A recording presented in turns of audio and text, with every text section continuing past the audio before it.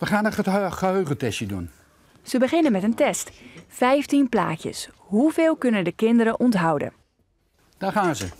Sowieso al lastig, maar helemaal voor iemand met dementie. Over die ziekte krijgen de kinderen vandaag les.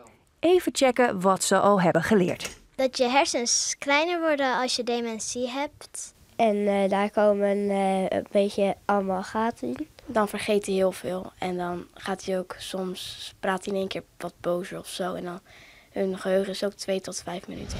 Inderdaad, dementie is een ziekte in de hersenen en mensen die het hebben krijgen daar allerlei problemen door. Met hun geheugen bijvoorbeeld. Bij iedereen gaat het anders, maar het kan dat iemand namen vergeet, of dat iemand zijn familieleden ineens niet meer herkent, of hun hele gedrag verandert. En uiteindelijk kan iemand zelfs helemaal niets meer.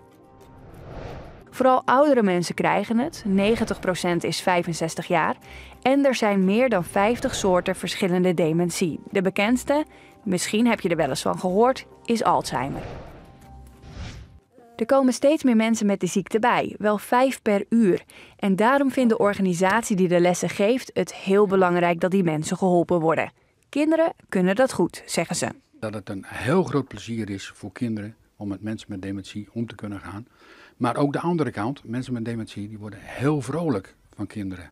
Natuurlijk kun je zoiets niet alleen in de klas leren of uit de boeken. De kinderen gaan de ouderen binnenkort ook bezoeken. En ze hebben al nagedacht over hoe dat bezoek er dan uit moet gaan zien. Spelletjes spelen en misschien gewoon praten over vroeger. En misschien ook nog tekenen of zoiets. Taarten bakken, sjoelen.